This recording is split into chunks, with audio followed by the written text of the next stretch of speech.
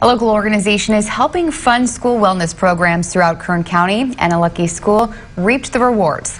Kern Health Systems presented a check to Fremont Elementary School in the amount of $35,000. The money will go to a program for overall wellness among the students. The group recently received a grant of $194,000 for six public schools to start up the school-based programs a way of being able to get them to understand the importance of nutrition and exercise. We adopted this school-based program arrangement where we work with elementary schools.